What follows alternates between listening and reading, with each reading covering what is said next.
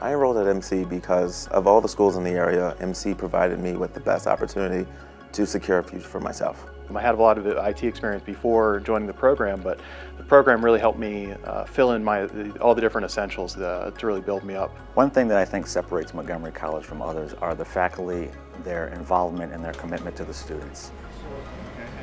I like that almost all of the faculty here that are teaching in the cybersecurity program are working in the field. So they bring what they experience in the field to class.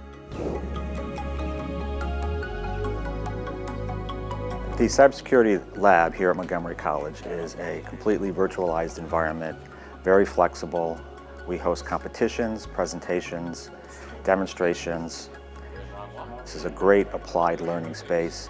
The cybersecurity lab provides students with the hands-on experience that employers look for that makes them very competitive in the field. Now that I'm working at Nauticon, I now realize that I wouldn't have been able to get this job without the help of the cybersecurity program and MC. The experience I've gained out of being uh, part of the cybersecurity program and, uh, and of course the cybersecurity club uh, itself um, have very much uh, been influential upon the way I approach getting a job, the knowledge I received in doing these extracurricular activities have really helped me um, solidify that this was more than just a going to school, this was really a passion of mine.